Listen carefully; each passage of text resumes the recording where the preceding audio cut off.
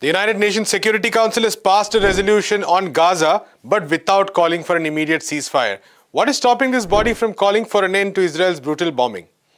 South Korea's Supreme Court has upheld two rulings that ordered Japanese, company to pay, Japanese companies to pay compensation for Korean forced labor victims. And this was under Japanese colonial rule. What are the implications of this verdict? This is the Daily Debrief. These are your stories for the day. And before we go any further, if you're watching this on YouTube, please hit the subscribe button.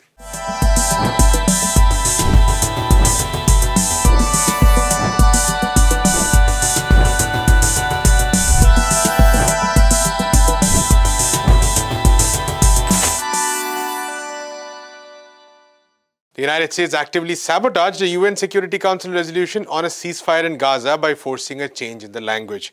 The resolution had initially called for, to quote, a sustainable cessation of hostilities. But under US pressure, it ended up calling for, to quote again, urgent steps to immediately allow safe and unhindered humanitarian access and also for creating conditions for a sustainable cessation of hostilities. Now, after this intervention, the US ended up not voting for the resolution anyway and abstained.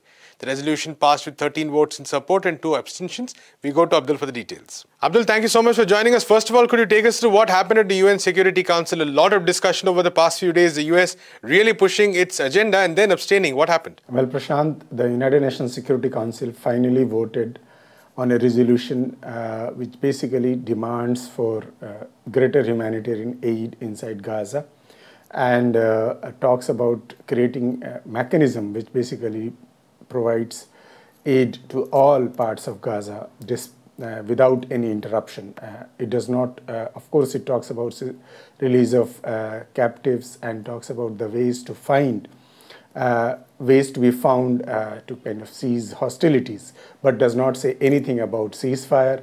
Has basically U.S. has been delaying the the voting for last three days at least, four days uh, in which it basically had objections to the uh, earlier drafts which talked about suspension of hostilities.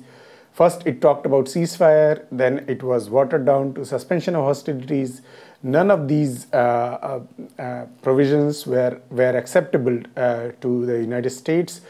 even while when the Security Council was voting it on it on on Friday, after all the negotiations, uh, US uh, did not uh, basically agree, did not agree to kind of uh, support uh, any uh, any draft which basically talked about or hinted about ceasefire. So it is a kind of compromise which basically has resulted in a, a, a very mild resolution which does not say anything uh, and does not give any hope about uh, peace uh, in, in Gaza. it basically means that Israel can continue bombing Gaza and its ground offensive can continue. Uh, it also means that there is no pressure on Israel to basically uh, do something about a, a kind of uh, to basically stop the war in Gaza. Uh, at the last moment, Russians uh, tried to introduce an amendment which basically uh, talked about uh, some kind of suspension of hostilities for a while. Uh, even that was vetoed by the US, and that basically led to uh, a situation where Russia basically abstained on the final draft, which was finally accepted. By the way, the, the, the strange fact is, even after negotiating all of this, uh, and, and forcing the other members of the United Nations Security Council to water down their uh, appeals of ceasefire, US ultimately did not vote uh, in favor of the resolution and abstained. It did not want to look as if it wants to uh, kind of uh, uh, sit with the countries which basically are in favor, on, favor of ceasefire in any way, even remotely. And that is the only message which comes out of what happened uh, in the Security Council on Friday. So uh, uh, that is the situation uh, about the United Nations Security Council resolution, which was adopted on Friday. And uh, the, the resolution has no uh, meaning and, and does not have any impact on the overall the hostilities which uh, in Gaza. It does not have any impact on uh, or any possibility. It does not bring any possibility of ceasefire uh, there. Abdul, we're ending, of course, another week, another week of continuous attacks, very brutal attacks. Would give us the situation, to tell us a bit about the situation on the ground in Palestine right now. Well, Prashant, as far as the situation in, in Gaza is concerned, the fighting continues.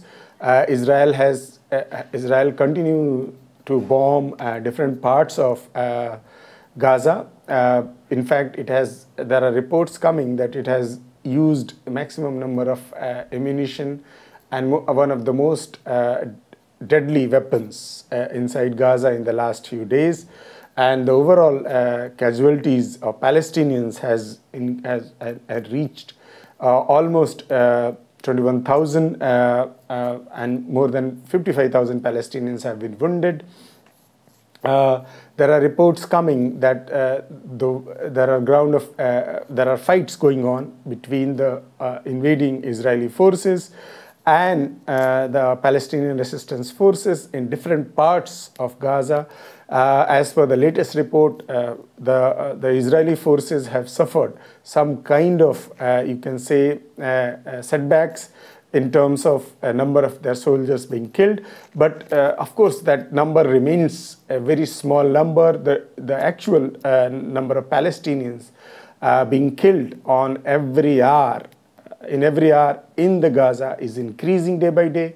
Overall humanitarian situation is becoming worse, bad to worse. According to the UN's latest finding, almost uh, 500,000 plus Palestinians are living in in complete starvation, in a very dire situation where they are not able to full, uh, get even the minimum food which is required for them to survive. Uh, and that, that number is basically going to increase given the fact that despite the fact that the Security Council has voted for uh, greater access for humanitarian aid, uh, it, it does not seem that the Israel is in any uh, obligation to basically implement that resolution uh, because there is no punitive measures which is going to be taken uh, in the few uh, if Israel says it will not implement uh, the Security Council resolution, and uh, that means that the overall hurdles uh, and the objection uh, hurdles and the uh,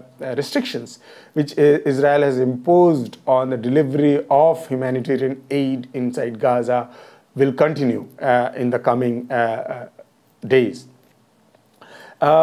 Meanwhile, uh, the, uh, the health situation uh, in Gaza, of course, is deteriorating.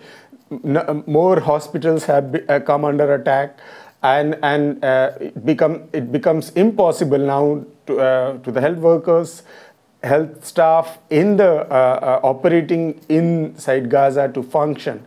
anymore. Primarily, in fact, the majority of the hospitals have now completely shut down, and a new uh, uh, the hospitals which have been operating uh, despite all the problems in the last few uh, months are on the verge of shutting down. So this is the overall uh, uh, situation inside Gaza and it has deteriorated in the last 24 hours. Number of Palestinians have killed, have hundreds of more Palestinians have been killed and that is that situation is it seems will continue because the Security Council has refused to uh, adopt a resolution asking for immediate ceasefire.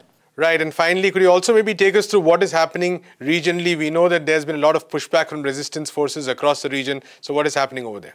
Well, Prashant, as far as the uh, global and regional responses to both the UN Security Council resolution as well as the overall situation in, in Gaza is concerned, it seems uh, that apart from Russians, there, there are more countries which, of course, more countries which are not which were not happy with the way the U.S. pressurized uh, the United Nations Security Council uh, to basically adopt a resolution which does not have any meaning. In fact, uh, and that has basically led to greater disenchantments.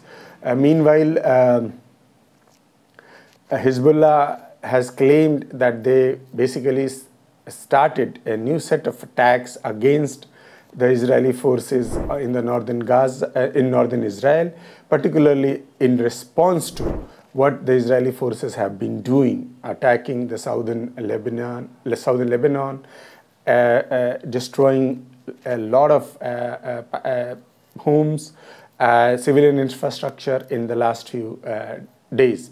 According to the latest report, Hezbollah has claimed that its attack has led to the kind of destruction of some of the Israeli posts uh, military posts and a killing of uh, a couple of Israeli soldiers, though of course these reports are not verified.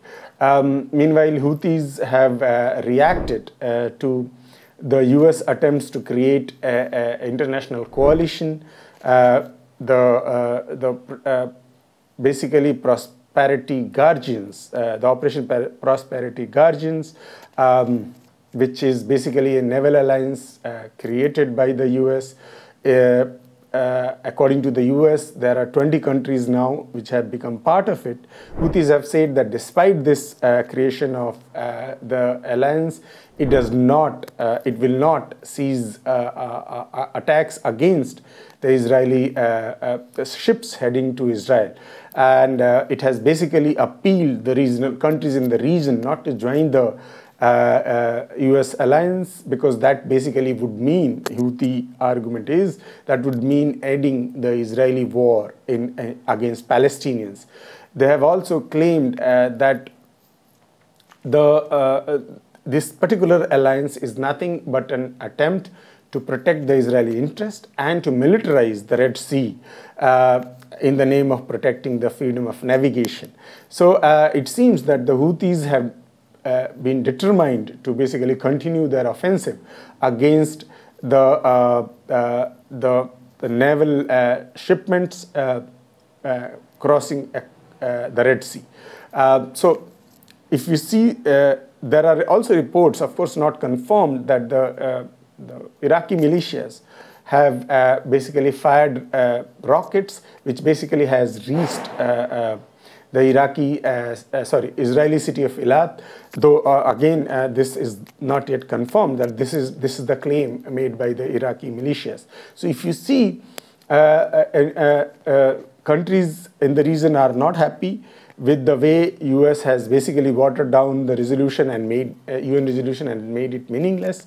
At the same time, the militias in the region have basically continued to uh, take aggressive actions against the Israeli uh, war in Gaza, demanding the immediate uh, cessation of hostilities, immediate cessation of war.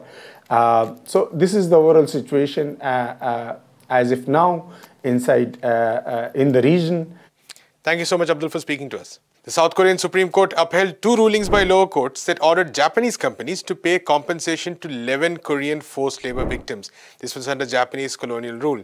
The case was against Mitsubishi Heavy Industries Limited and Nippon Steel and was filed by Koreans who were forced into labor during World War II. However, this is not merely an incident from history, as its implications continue today, and the South Korean government has been moving closer to Japan, despite many such issues being unresolved. We go to Anish for more.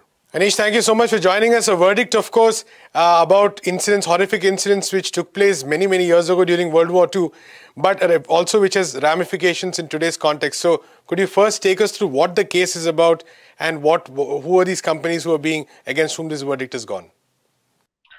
Well, there are two cases actually, and the rulings uh, that were uh, given by the appellate courts and even uh, lower courts uh, before was that the that individual claims of damages uh, during uh, the wartime, especially those who were forced to uh, do you know unpaid hard labor uh, in Japan, who were uh, drafted by the Jap- uh, Japanese colonial government at the time. are liable to, you know, have the right to a file for damages and also secure those damages to begin with. Now we're looking at some of the very few, you know, last surviving Uh, wartime forced labor victims. Uh, this includes uh, women. Four of uh, four of the victims, at least the three of them who are surviving, at least, uh, are women who were put into what was called the volunteer women's corps.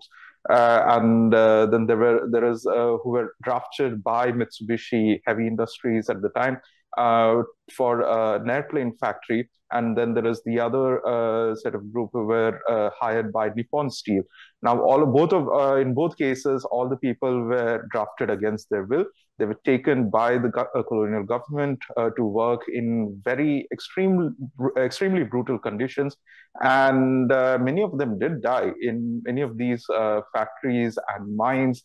And these uh, these are you know generally consider war crimes in general because of and also colonial crimes.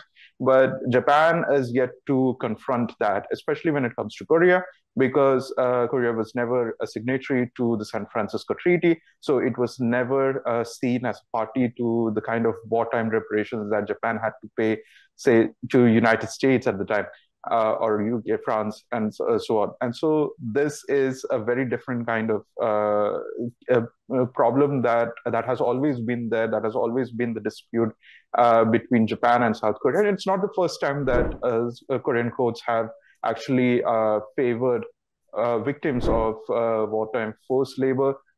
before in 2018, the same Supreme Court had, you know, favored uh, victims uh, against the same set of companies, uh, Mitsubishi and Nippon Steel, uh, uh, to grant them a similar set of you know compensation. most of them are dead now. in fact, since they have filed the case, it was like many of these litigations began in early 2010s, and most most of them couldn't survive because obviously they're too old right now, and and it is uh, and it, and it uh, remains to be seen if they ever get paid in their own lifetime. Uh, at the same time, what we're looking at, as you pointed out, there are real-time implications right now because obviously the current conservative government has been trying to uh, push through, uh, you know, ram through actually a sort of uh, reconciliation with Japan that actually comes at the cost of national interest very often done at the behest of or at the encouragement of the United States, who wants to create a sort of axis uh, against China, obviously, and also North Korea. And uh, this sort of uh, drawing of war borderlines has actually cost uh, and will cost Korea uh, a situation where it is going to overlook its own citizens' uh, needs and you know the uh, the demands of of wartime victims, and not just wartime victims, colonial era victims, many of which includes all sorts of other crimes, including the comfort women issue that that Korea doesn't really want to address in most instances. And uh, that is uh, being done at their cost. And uh, this thought that that is being lauded by mainstream media in the West and also in Japan uh, is coming uh, time uh, when North Korea is re- sorry South Korea is ready to just forget its colonial history with Japan and the kind of crimes that has been inflicted on its people. I wanted to ask you a bit more about that. What has been the trajectory of ties between Japan and South Korea in the past? How have they sort of, uh, you know, dealt with it, and what has changed over the past few years? Well, uh, one of the things that we need to understand is like every time there has been a conservative government, uh, there has always been a rightward tilt, and that rightward tilt meant that it, uh, they tried to uh, secure very close military ties with Japan. Uh, you know, forgetting a large part of the colonial uh, baggage that exists and which has never been resolved. Uh, and this was something that was pretty much a legacy of the military dictatorships that existed until the 80s, uh, uh, especially under Park Chung-hee, who actually, uh, you know, led the process of signing the 1965 treaty, which pretty much gave Japan a very quick shortcut out of uh, you know paying reparations paying for uh, or you know even uh, giving an apology uh, a formal apology uh, for not just uh, colonizing the country, the peninsula, but also inflicting a significant amount of damage and you know crimes and atrocities against the Korean people. And it's not just Korea. Obviously, Japan has a you know very terrible history of colonialism, uh, especially in the 40s and late 30s uh, when it colonized parts of China, uh, parts of Southeast Asia, and committed the kind of crimes that uh, are yet to be reckoned uh, with. And that is something uh, where, you know, often there are political divisions in South Korea as well. And obviously, North Korea Uh, where it's not more, so much divisions, but obviously it has been demanding, but has been overlooked over any talks of settlements or reparations. Uh, nevertheless, uh, under the previous government of Moon Jae-in, uh, there was uh, there was an attempt by the Korean South Korean government to actually support the victims of war crimes, support the victims of forced labor, uh, of uh, women who were forced into forced into being comfort women, and that actually created tensions. But it wasn't like the kind of tensions that broke relations or created irreparable damage. It was just tensions where Japan just refused to acknowledge any of these crimes.